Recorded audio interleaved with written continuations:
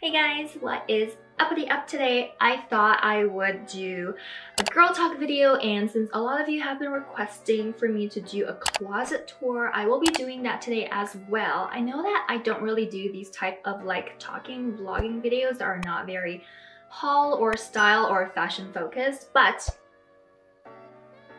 I feel like in those type of videos, I don't actually get to know you guys on like a personal level. And plus, looking back, I only have like two or three girl talk videos like ever, which is ridiculous. So today I'm just going to be taking you guys on a tour of my closet, a really quick one because it's messy AF. And also answering some of your questions. Let's go. Okay, so first up, this is my bedroom. Oh my god, I'm already on a tangent. I'm supposed to take you guys on the closet, not my bedroom. But basically, this is my closet which is situated in my bedroom. Um, some of you might recognize this from my Insta stories because I do go in here quite a bit and it is really super duper messy right now. So do not judge. I haven't cleaned up or anything in like the past, I want to say year. So it is kind of like a semi walk-in closet, but only like halfway because over here you have like the wall.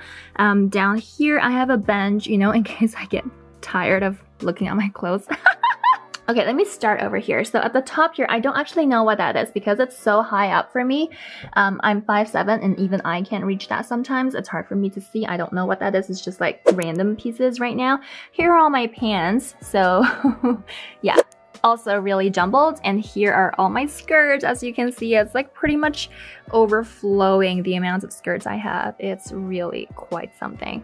And then over here's my underwear. I'm not gonna pull it open because it's completely just messy. Here's my bras. Here are my socks. It's even labeled.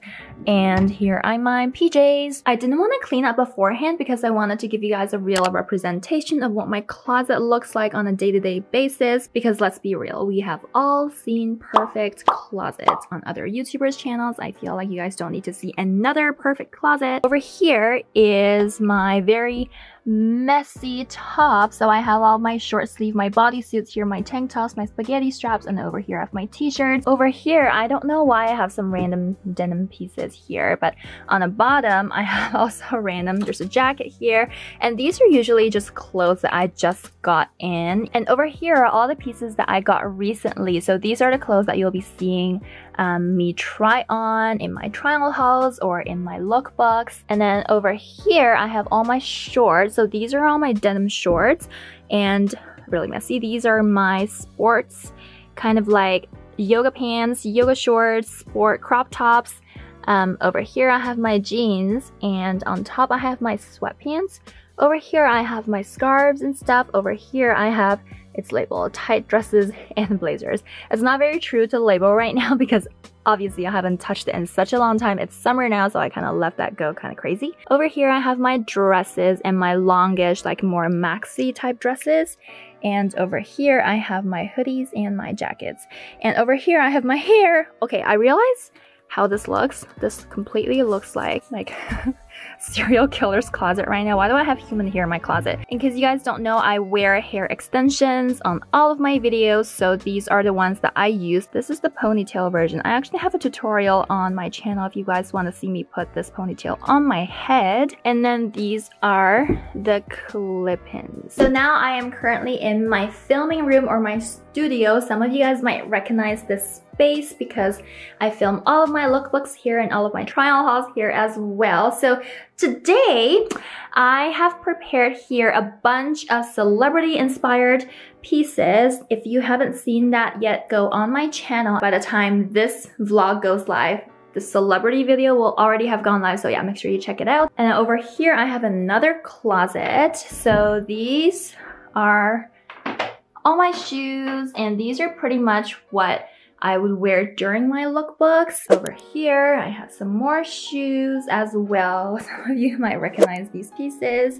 And over here, I have a bunch of drawers. They're kind of labeled. So these are all the pieces that I put into my closet. And these are pretty much mislabeled at the moment. These are not Green's Closet. These are just my belts and my bags more bags. even more bags. Um, and then over here, oh my god, what is this? Over here I have some more dresses and pieces for filming and over here I have my hats and all of my purses over here because one only needs about 100 purses, right? You know what? Might as well give you guys a tour of my office since we're already in here. This is where I work. This is the computer I use to edit all of my videos. This is the artwork I have here. Always dress like it's the best day of your life. Mm, I don't know how accurate that is today. and I got a new plant. Okay, I never actually have any like plants in my house. I have like those like Ikea plants that are like a dollar each, like these ones. I got this plant because I'm feeling like plant mommy. And you know, during quarantine, you need to dress up for somebody and I need to impress my plants. Okay guys, be honest. Let me know in the comments down below whether or not your closet is as messy as my closet. I mean, this is like pretty much best case scenario where like all of my clothes are hung up and like nothing is piled on the floor because most of the time after I film or even before I film or like during my film, it's just chaos and there's just clothes everywhere on the floor. Yeah, let me know if you relate to that. Oh, I'm shaking so much. People are gonna get so dizzy. okay, so now let's go back to the bedroom. that sounded scandalous, but yeah, let's go back to the bedroom where we can start talking. Okay, so I come back to my bedroom. Now that you guys have seen my closet, I'm sorry it wasn't really much of a closet tour. It's actually kind of like a closet peek because yeah, you guys saw it. There's not too much to like walk through in my closet. Let me know if you want to do like a very, very dedicated closet tour on like how I organize my clothes and stuff. Hint, I don't really. So now we're gonna get into the Q&A section. I asked you guys what you want to know. So a bunch of you left me a bunch of questions on my YouTube community page. So I'm just gonna go through them and pick some to answer. And keep in mind that if you see my previous girl talk videos, you know that I'm not like a licensed psychotherapist or something, but I'm always here if you guys need some Kerina therapy. First question is how to feel hotter. I think a lot of girls need this. How to feel hotter go to the desert. Oh my god, all my dad jokes. Oh my god, so funny. I'm not even dad. A mom though. And I just want to follow up with another one because the second most thumbs up question is how to be sexy and hot without revealing clothes. So I'm going to be answering those two together. First point, and I guess the only point I want to bring up about this issue is that you don't need to be wearing revealing clothes in order to feel hot or to feel sexy about yourself. Feeling sexy about yourself is a mindset. I mean, of course, in like mainstream media, we're always seeing, you know, girls or women being portrayed as sexy when they're wearing like less and less clothes, but for me and my interpretation of sexy is when a woman is very confident in herself, in her body, in her mindset, and she's in control of her life, in control of her mind and her thoughts. Because come on, let's face it, if you're not confident in yourself, even if you're wearing like a $10,000 outfit, you're out and about, you're still going to be feeling really self-conscious, so you're still not going to be presenting the best version of yourself outwards versus, you know, like you can just wear like a $5 top from Shein, for example, and go out and like totally strut it and like totally work it. That is just my take on how to feel sexy. So yeah, just remember, your attitude and your confidence in life is what makes you sexy and you are wearing the clothes don't make the clothes wear you. Okay, so the second question I wanted to address is by Maddie. Hi Maddie. How to combat stereotypes while still being a girly girl. I know this is somewhat hard for me as I love all things girly. Same here girl, same here. But I don't want to be trapped by people's stereotypes of me. This sparked a conversation and many people are saying that people assume that girly girls must be shallow and superficial and maybe even sophisticated gold diggers. And also, another stereotype is that girly girls are not brainy. As a tiny Asian girl in the UK, a lot of men think I am just like an anime girl and they can mess with me. Okay, if you guys watch my videos, you know that I am one of the most girly girls out there. I think a lot of my pieces are very inspired by like what 10 year old me would wear, you know, like floral sundresses and like hats. And are there stereotypes about me? I haven't heard of any, but I bet you they are. And this is very, very common. This is extremely common. And I think it all boils down to confidence. I actually went into detail on how to be more confident in yourself in my very first episode of Girl Talk. So if you want to see more on that, then hop on over and click the link in the description below to check it out. Basically, in a nutshell, I just have three words for you You do you. People's way of thinking about you and their stereotypes of you are called stereotypes for a reason. It's because they don't actually know you for who you are. And you, being the goddess that you are, do not need to be concerned about other people's opinions and concerns about you because there will always always be people like that. I don't know if you know, but when people form opinions about you and classify you into certain stereotypes, that just means they're projecting their own insecurities onto you. So keep that in mind whenever you think people are saying something about you behind your back or like forming opinions about you, just shut them off block them out because those negative thoughts belong to them. Okay, so the next one is process on how your body changes when and after you're pregnant and how you managed it. When is it okay for you to start working out on your challenges? So um, I don't know if you guys all know this, but I have a three-year-old, almost four-year-old boy now. His name is Lucas, and if you follow me on my Instagram stories, you can see him sometimes there. So yeah, I would say that my pregnancy journey has been such a long time ago that I don't actually recall a lot of the stuff that I went through. I know that the first trimester was really hard because I was trying hard to like keep my barf down and not throw up all the time. Um, but then once he hit second trimester, I remember I was feeling like, oh my god, I'm like Energizer Bunny, like my energy's back, I can do whatever I want. Third trimester, not so great. I feel like I couldn't even drink water or like eat a bite of food without feeling like there's no space in my tummy for the food to be in. Um, the birth part was pretty, I mean, I was pretty lucky that I had a really successful and smooth delivery, so everything went well there. And like, to be honest, I feel like I'm gonna like piss a lot of people off by saying this, but I didn't actually work on getting my body back after the delivery because my baby actually had a heart condition that required open heart surgery when he was four months old. So yeah, not a lot of concern and not a lot of priorities were placed on me and my body at that time. If you're interested in that, I made a whole blog post on it too, so make sure you read it if you're interested. How to be energetic and stay motivated. You're always capable of motivating me through the screen with your kind, happy, and fun aura. Thank you. Even when I'm in a bad mood or have a not too perfect day. Um, most of the time I'm pretty happy, but trust me, I'm not like that all the time. I mean, I am a human being and I'm not perfect and I do have my ups and downs just like you would. I feel like what I portray on screen is a pretty accurate representation of what I'm like generally off screen, but um, I do feel the pressure to talk more smoothly and to be more relatable on screen. I don't know because like off screen I honestly don't talk to a lot of people um, especially now given the whole quarantine situation. So yeah, the only person I talk to is my husband who is my work partner and life partner and there's not a lot of things you can say to your husband after like seven or eight years of marriage, believe me. Um, and I talk to my three-year-old toddler which consists a lot of me asking him questions and sometimes stress does consume me and my life and my emotions. So yeah, I'm trying to work on that. But yeah, just here to tell you that if you're not having a perfect day or if you're not feeling motivated, you're not alone. We all go through that as part of being human. How do you decide what to wear each day? Do you pick out outfits at night for the next day? Or Sunday nights for the week or impulsively in the morning? Love you and your hauls, by the way. I love you too. Um, I'm impulsive, so I never ever plan out my outfits unless unless it's for one of those like lookbooks that I do in my studio where I'm taking clothes off and putting clothes on. Um, I do plan those out ahead of time so I know what pieces go with what. So I'm not just like standing there for like a whole 10 minutes trying to figure out what pairs with that top.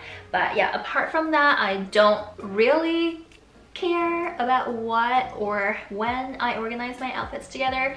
Most of the times when I'm not filming or like appearing in front of a camera, I'm really just in my sweats. Not really sad because it's real life, you know? Advice on starting a YouTube channel. And someone else actually commented more on that and said, how do you balance work-life hobbies? What are the hardest parts of being a creator on YouTube?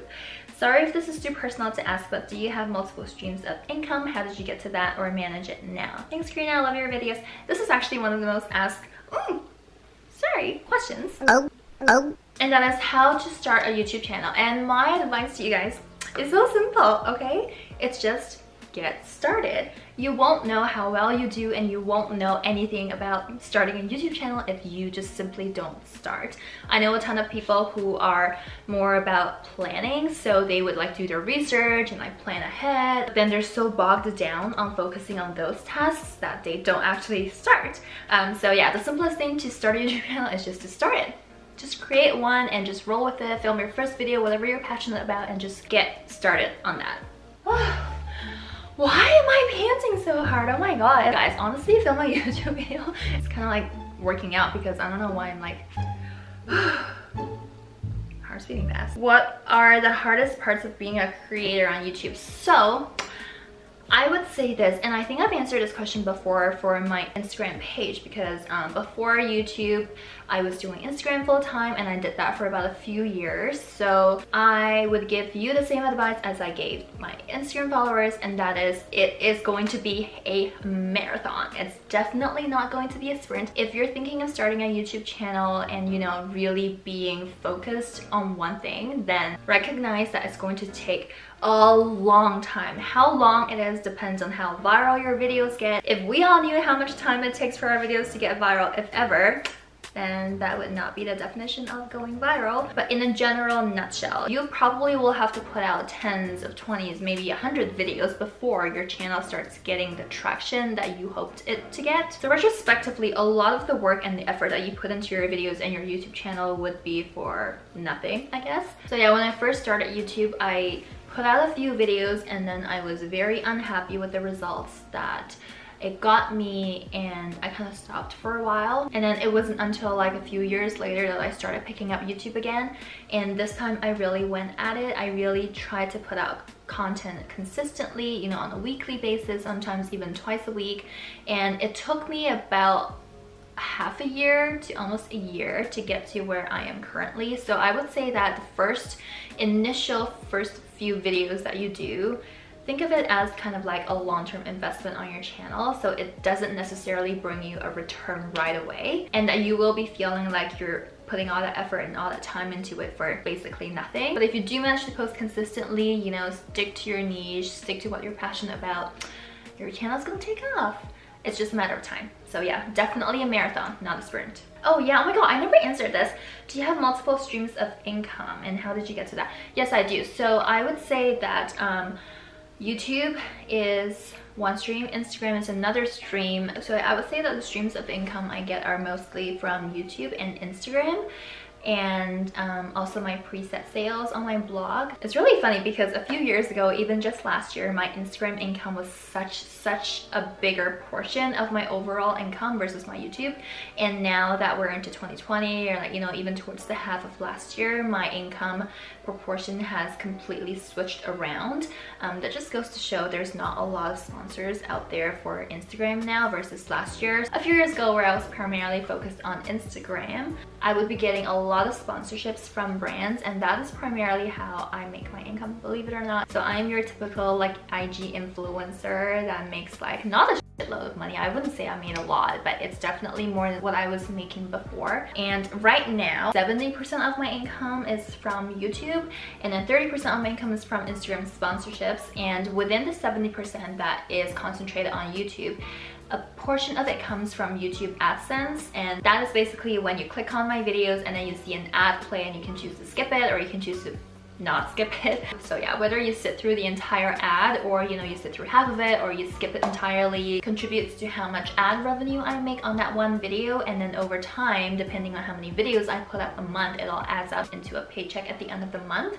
So I wouldn't say that is a big chunk either. Um, so Another revenue stream is by YouTube sponsorships. So brands would email me, you know, like brands that you all know, Nasty Gal, Boohoo, to name a few. Um, we would partner together to make videos for you guys, and then I would get a fixed fee from that collaboration. And the third stream of income from YouTube, I would say, is affiliate sales. So when I do list the items that I'm wearing in a link format in the description box below, let's say I'm linking this shirt. This shirt is not affiliated, by the way. So if you click on it and you buy it, you just buy it. I don't get anything from this shirt, but um, some of my Shein pieces and a lot of like other brands that I wear a lot in my videos, if you guys click on the link that I put out, if you then proceed to buy something from this site, let's say you, you spend $10 on Shein, um, I would get 10% of that. So I would get like a dollar from that every time you use my links to get something. Um, so that is called affiliate income and I'm very, very lucky. I have all of you guys supporting me on my videos and my neighbor's kids are going crazy. They're like banging the drums or something. Um, oh my god, okay. Yeah, so contrary to what you might think, using my coupon code like Kerina15 on Shein, for example, doesn't actually make me any money. It's when you click on my links and then you proceed to buy something using my link. So yeah, thank you guys so much for all your support towards that, by the way. I really, really appreciate it. Um, the affiliate sales isn't even a giant portion of my YouTube income. So I just wanted to thank you all for like not skipping ads and like using my link to buy items. Do you ever feel pressured to pick one specific aesthetic slash style? I feel like I have five different aesthetics and I cannot choose just one.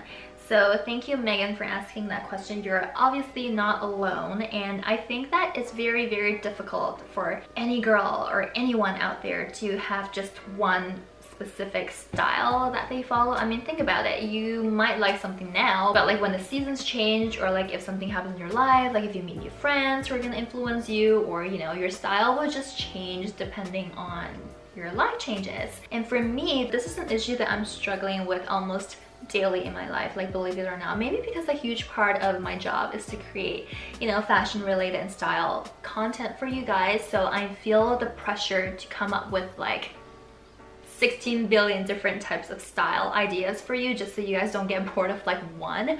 Um, but that being said, I do realize that the majority of my content has been focused on more girlier fashion. So I am trying so hard what is this? to feature a wider range of styles and looks, you know, including like jeans. I know a lot of you want me to stop wearing heels. Even though I personally think that, you know, it looks better on the legs, visually elongates your legs ratio, but I do realize that it's not very wearable in real life. And I know that for me, because um, fashion plays a huge part in how I express my own creativity, um, sometimes I'm just feeling different. So a, a, huge part of my style and my fashion sense actually comes from how I'm feeling that day. So it's very emotionally tied. that makes sense? So yeah, I guess you can say that I feel very girly most of the time. but yeah, I'm trying to do more like neutral, like looks. You know what I mean? Okay guys, thank you so much for tuning in to this episode of Girl Talk. I know that I still owe you guys a bunch of other talks. Um, feel free to leave me a comment on this video down below on what questions you want me to answer next. Um, it can be anything, it can be about boys, it can be about relationships, it can be about, you know, like style and fashion and like anything, money, how to save, how to do anything in life. I may not have the right answers, but I can give you some of my opinions and some of Kerina therapy. I will see you in my next video. I love you all. Bye bye.